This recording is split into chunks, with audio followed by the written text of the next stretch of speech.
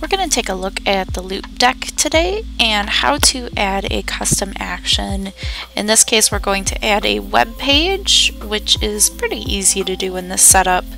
The Stream Deck is basically intended to be a tool to make um, it more easy to navigate while you're streaming or doing other actions.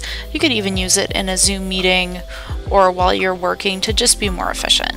So we have some custom actions already set. I can create a workspace and you can create as many workspaces as you want and that's what you set to these buttons down here. So each button addresses a different workspace. So here we're going to create a button for a web page called ThingLink and so I'm going to click on it and do web page. And we'll go ahead and just call this thin link. And then the next thing we need is the actual website address. So I'm going to just pull that up. And we're going to copy and paste it right into the line and hit create. So right now it's just going to give us a default button. It doesn't really have like a custom button quite yet. There are two options we could do. We could click on this icon and choose from the icon library. There are some that they offer.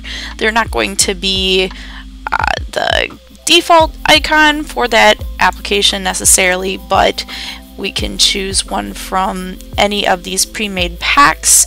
If you want to create your own custom icon, it is a couple more steps. In this case, I have already created an icon library for myself in here, and there is a ThingLink little banner icon that I created.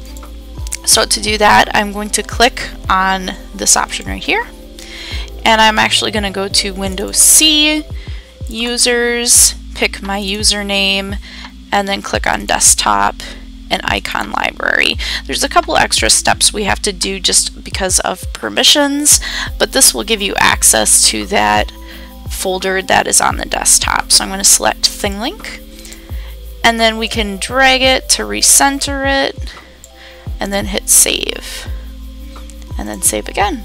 So now here is our new ThingLink button and on the device itself you will see the button update to reflect this action and now when we click on the button on the Loupedeck, the website automatically opens.